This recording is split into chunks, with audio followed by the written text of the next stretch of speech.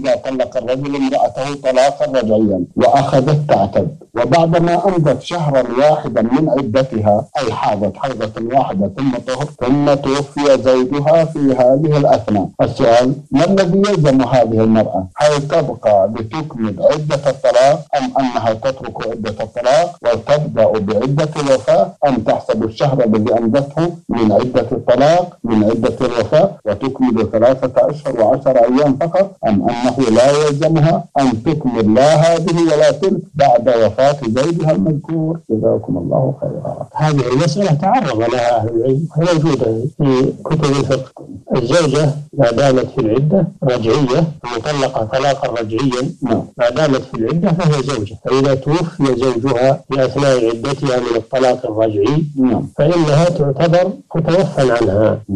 ترث منه وأيضا تلزمها عدة الوفاة فتبدأ عدة الوفاة من وفاته أربعة أشهر وعشرة أيام. نعم. تدخل فيها بقية عدة الطلاق. تدخل فيها بقية عدة الطلاق. لأنهما عدتان لشخص واحد. مم. فيتداخلان فتعتد أربعة أشهر وعشرة أيام. وتخرج بذلك من العدة. طيب نعم. إذا الشهر الذي قد اعتدته قبل وفاة هذا الرجل يعتبر من العدة نفسها وحينئذ يبقى عليها ثلاثة أشهر وعشر أيام. لا تعتد أربعة أشهر وعشرة أيام من وفاته. من غير ذلك الشهر؟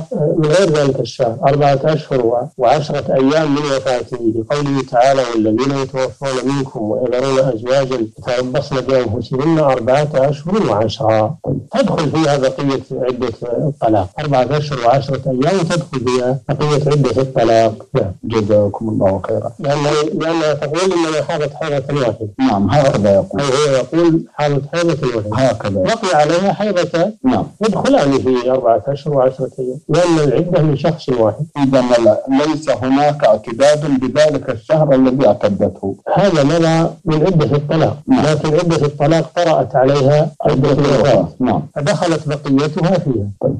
جزاكم الله خيرا وأحسن إليكم